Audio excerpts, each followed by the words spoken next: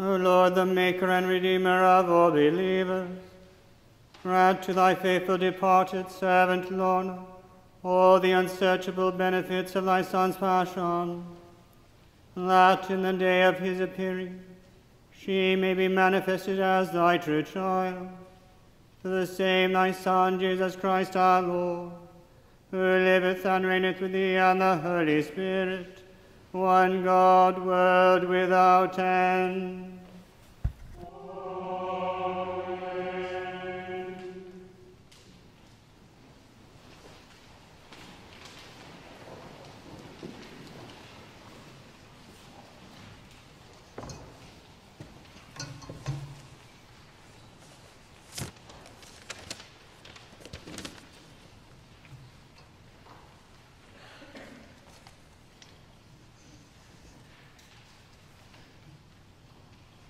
The first lesson is written in the third chapter of the book of Wisdom, beginning at the first verse.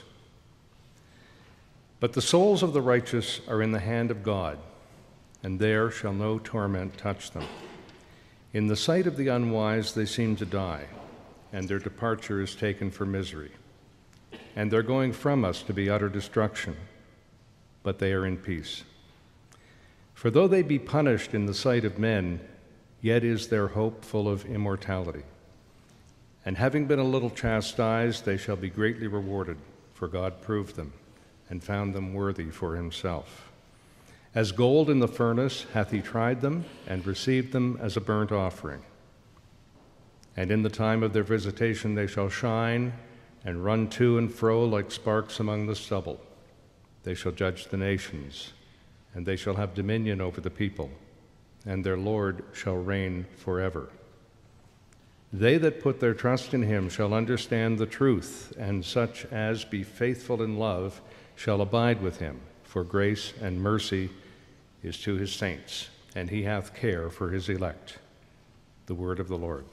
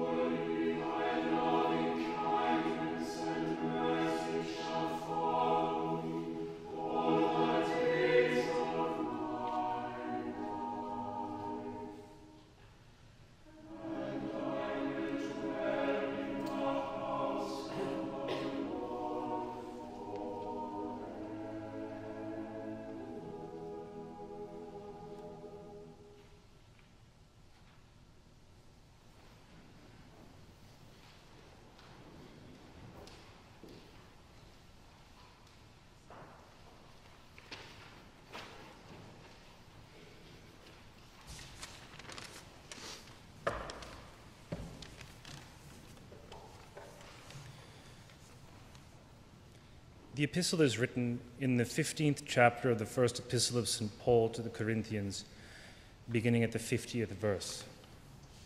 Now, this I say, brethren, that flesh and blood cannot inherit the kingdom of God, neither doth corruption inherit incorruption.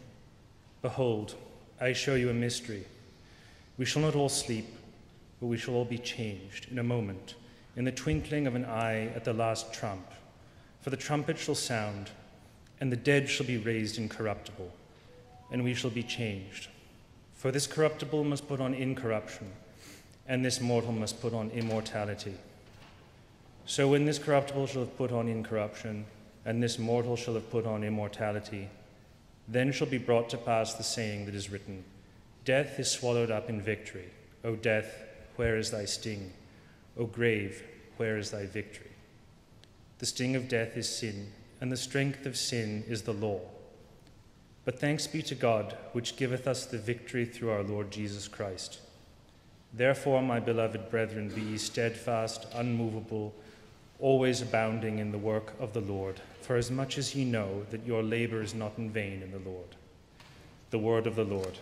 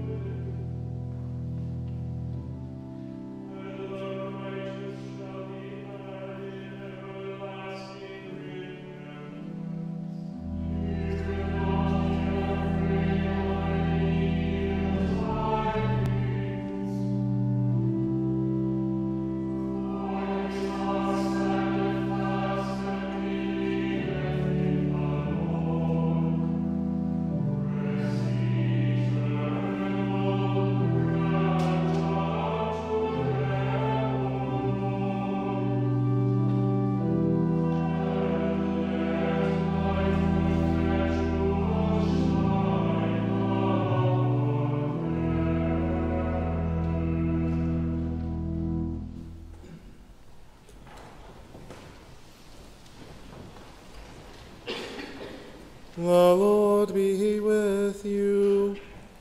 And with thy spirit. The Holy Gospel is written in the sixth chapter of the Gospel according to St. John, beginning at the 35th verse.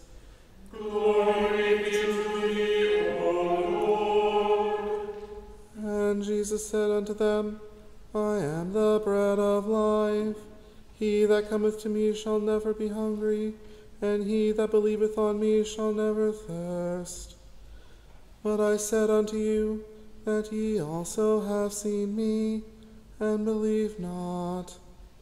All that the Father giveth me shall come to me, and he that cometh to me I will in no wise cast out. For I came down from heaven not to do mine own will, but the will of him that sent me. And this is the Father's will which hath sent me, that of all which he hath given me I should lose nothing, but should raise it up again at the last day. And this is the will of him that sent me, that every one which seeth the Son and believeth on him may have everlasting life, and I will raise him up at the last day. The Gospel of Christ. Praise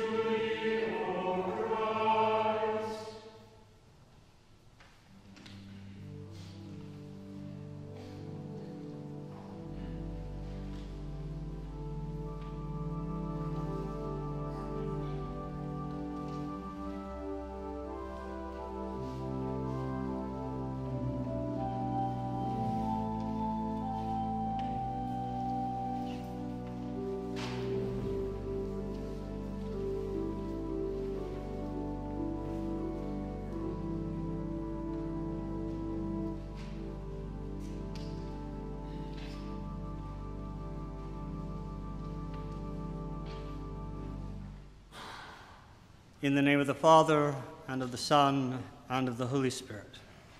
Amen.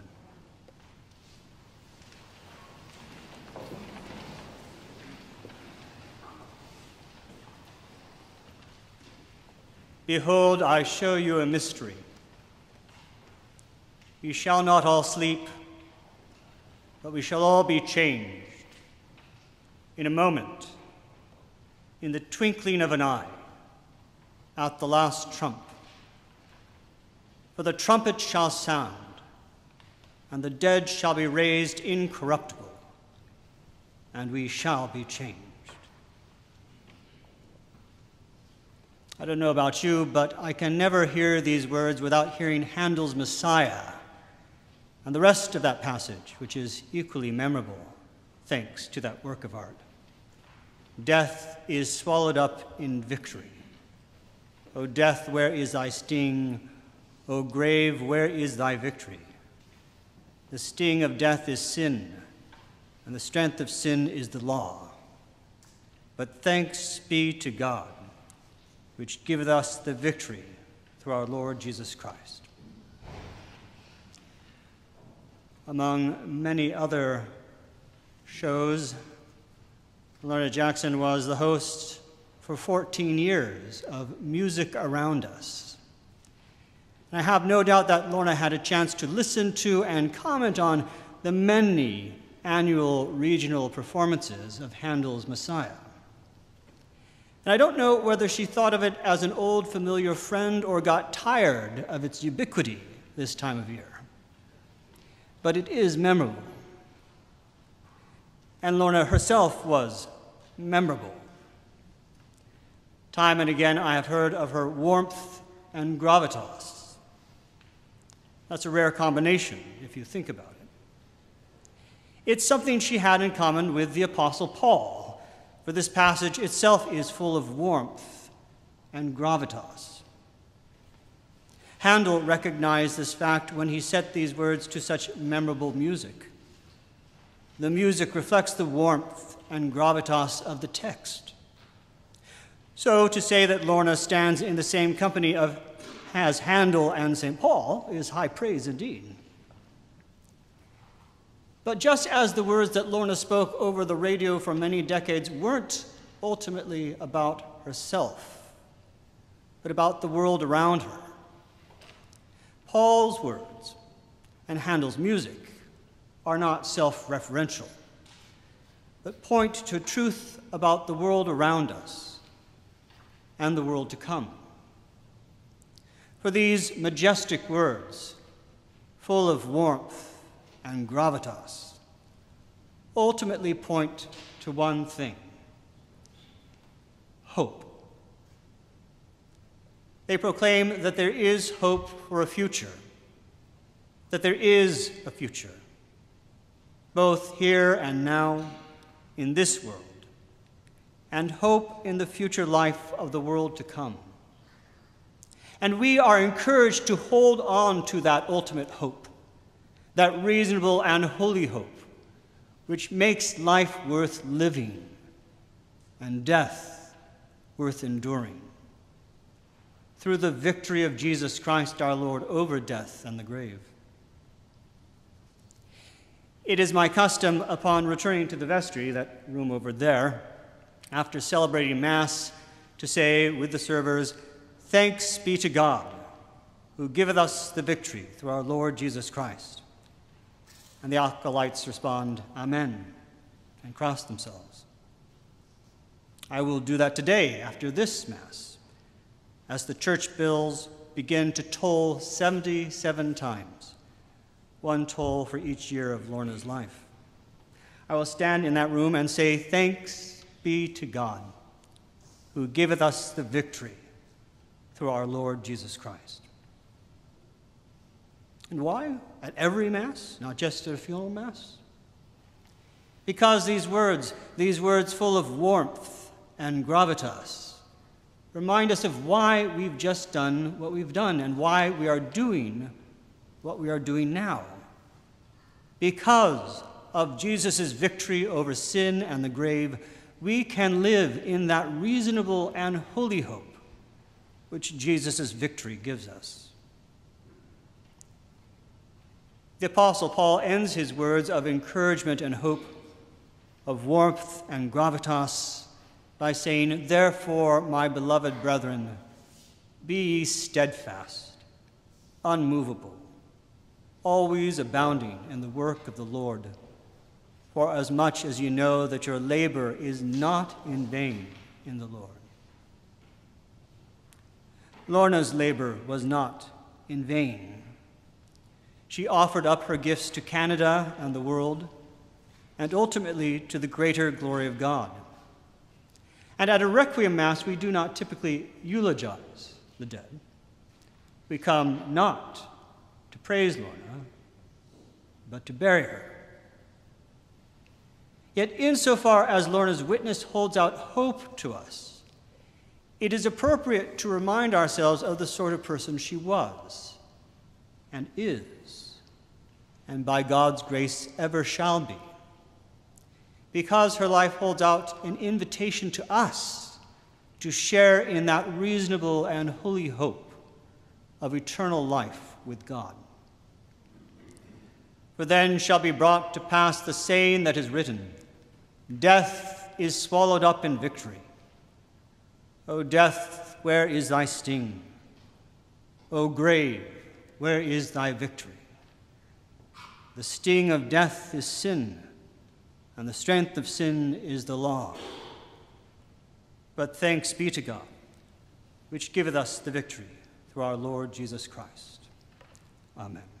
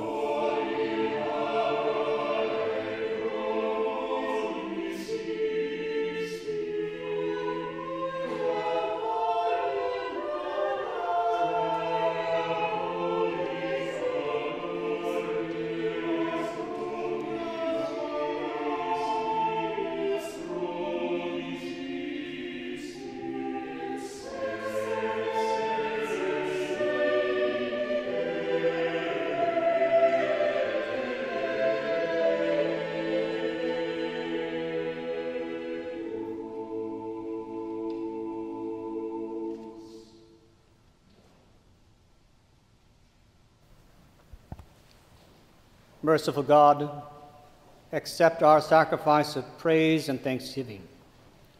Increase our faith, deepen our hope, and receive our sister departed into the glory of our risen and ascended Savior, even Jesus Christ, thy Son, our Lord.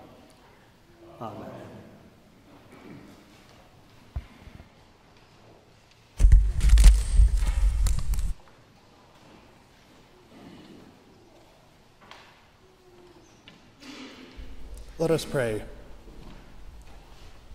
Almighty God, who has knit together thine elect into one communion and fellowship, in the mystical body of thy Son, Christ our Lord, grant, we beseech thee, to thy whole church in paradise and on earth, thy light and thy peace. Lord, in thy mercy,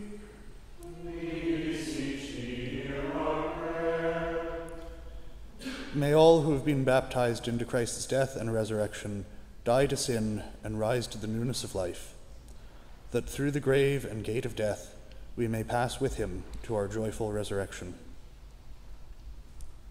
Lord, in thy mercy,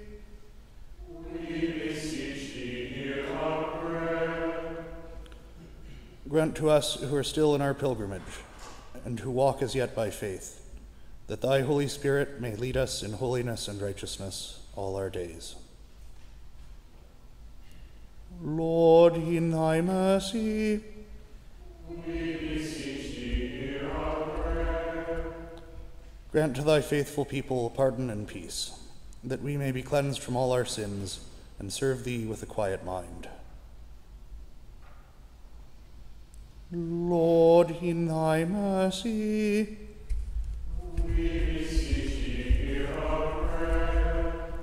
Grant to all who mourn a sure confidence in thy loving care, that casting all their sorrow on thee, they may know the consolation of thy love. Lord, in thy mercy,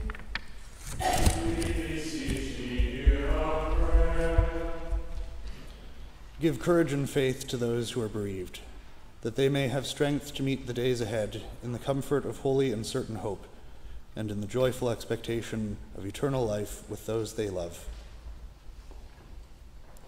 Lord, in thy mercy, we beseech thee in our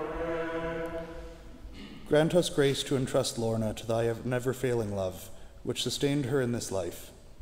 Receive her into the arms of thy mercy, in company with the Blessed Virgin Mary, St. Thomas, and all the saints. Lord, in thy mercy.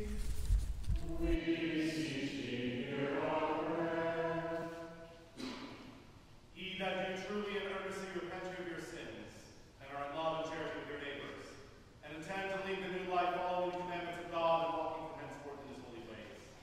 Draw near with faith and take this holy sacrament to your comfort, and make your humble confession to Almighty God, meekly kneeling upon your knees.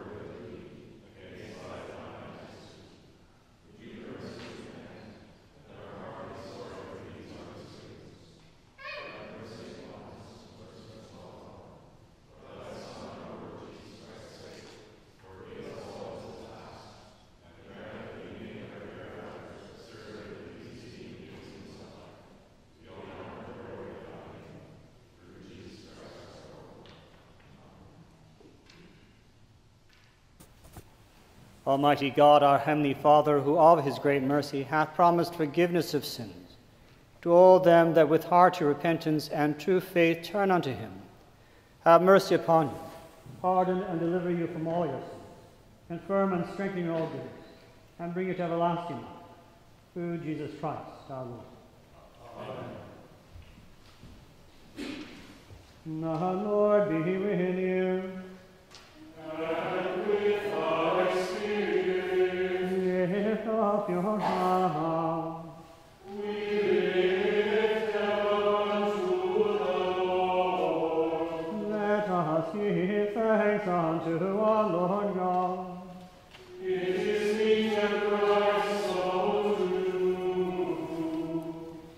It is very meet, right, and abound in duty, that we should at all times and in all places give thanks unto thee, O Lord, Holy Father, Almighty, everlasting God, Creator and Preserver of all things, through Jesus Christ our Lord, who rose victorious from the dead, and doth comfort us with the hope of resurrection and the promise of eternal life. Therefore, with angels and archangels, and with all the company of heaven, we laud and magnify thy glorious name, evermore praising thee and saying,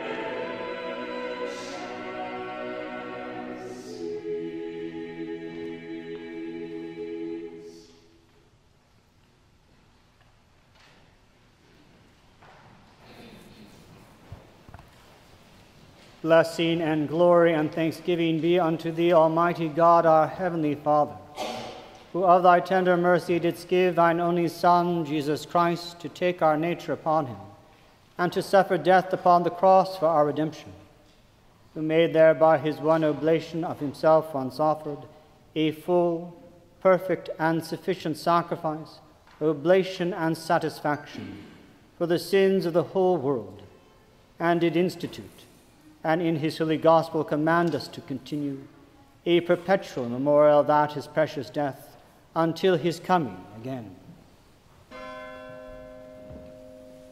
Hear us, O merciful Father, we most humbly beseech thee, and grant that we, receiving these thy creatures of bread and wine, according to thy Son, our Saviour Jesus Christ, holy institution, in remembrance of his death and passion, may be partakers of his most blessed body and blood, who, in the same night that he was betrayed, took bread.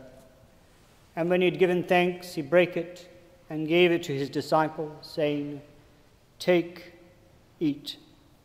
This is my body, which is given for you. Do this in remembrance of me.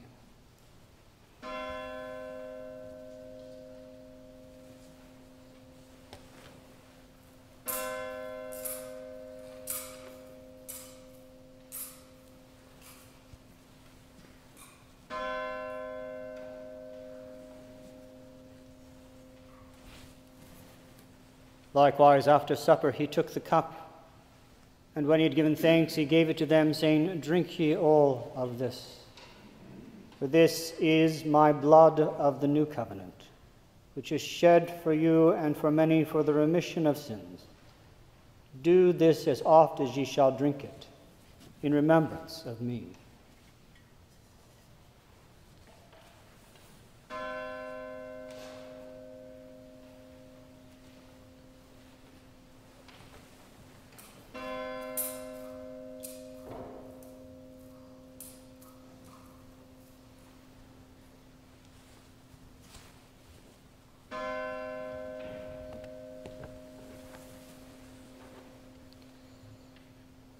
Wherefore, O Father, Lord of heaven and earth, we, thy humble servants, with all thy holy church, remembering the precious death of thy beloved Son, his mighty resurrection and glorious ascension, and looking for his coming again in glory, do make before thee in this sacrament of the holy bread of eternal life and the cup of everlasting salvation, the memorial which he hath commanded Remember, Lord, also the souls of thy servants and handmaidens, which are gone before us with the mark of faith, and rest in the sleep of peace, and in particular, Lorna. We beseech thee, O Lord, that unto them and unto all such as rest in Christ, thou wilt grant a place of refreshing, of light, and of peace. And vouchsafe to give unto us some portion and fellowship with thy holy apostles and martyrs with John, Stephen, Matthias, Barnabas, Ignatius, Alexander, Marcellinus, Peter, Felicitas, Perpetua, Agatha, Lucia, Agnes, Cecilia, Anastasia, and with all thy saints, within whose fellowship we beseech thee to admit us. And we entirely desire thy fatherly goodness mercifully to accept this, our sacrifice of praise and thanksgiving most humbly beseeching thee to grant by the merits and death of thy Son, Jesus Christ, and through faith in his blood, we and all thy whole church may obtain remission of our sins and all other benefits of his passion. And we pray that by the power of thy Holy Spirit, all we who are partakers of this Holy Communion may be fulfilled with thy grace and heavenly benediction through Jesus Christ our Lord, by whom and with whom, in the unity of the Holy Spirit, all honor and glory be unto thee, O Father Almighty, world without end. Amen. And now, as our Saviour Christ hath commanded and taught us, we are bold to say,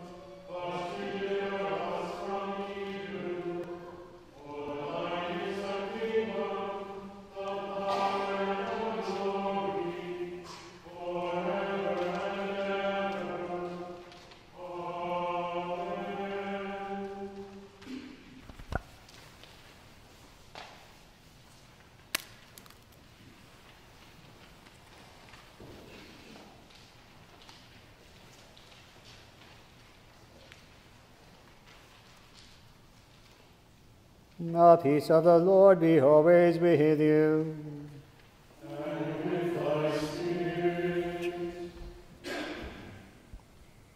We do not presume.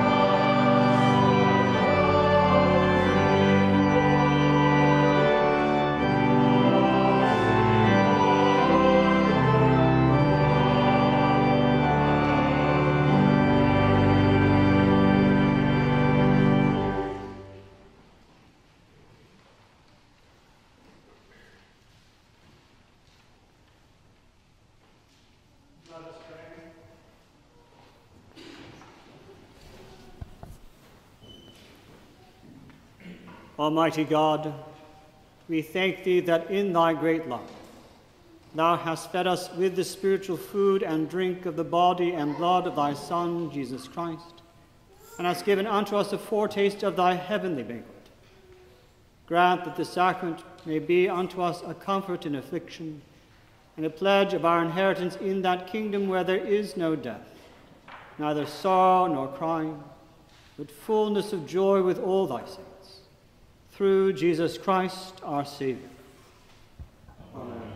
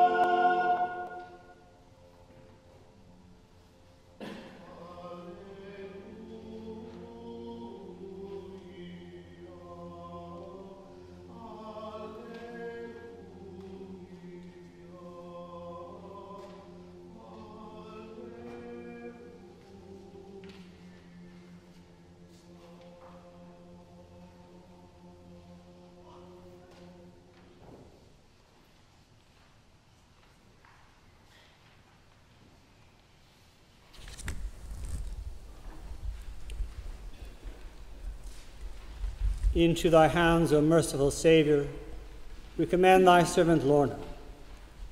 Acknowledge, we pray, a sheep of thine own fold, a lamb of thine own flock, a sinner of thine own redeeming. Receive her into the arms of thy mercy, into the blessed rest of everlasting peace, and into the glorious company of the saints in light. Amen. Amen. O Almighty God, the God of the spirits of all flesh, who by a voice from heaven didst proclaim, Blessed are the dead who die in the Lord. Multiply, we beseech thee, to those who rest in Jesus the manifold blessings of thy love, that the good work which thou didst begin in Lorna may be made perfect unto the day of Jesus Christ. Amen. Amen. Of thy mercy, O Heavenly Father, grant that we who now serve thee here on earth may at the last, together with Lorna, be partakers of the inheritance of the saints in light, for the sake of the same thy Son, Jesus Christ our Lord. Amen. O Lord Jesus Christ, Son of the living God, we pray thee to set thy passion, cross, and death between thy judgment and our souls, now and in the hour of our death. Amen. Amen. Vouchsafe to grant mercy and grace to the living, pardon and rest to the dead. To thy holy church, peace and concord, and to us sinners, everlasting life and glory, who with the Father and the Holy Spirit live as strenuous God, world without end. Amen. Rest eternal grant unto her, O Lord. And let light perpetual shine upon her. May her soul and the souls of all the departed, through the mercy of God, rest in peace.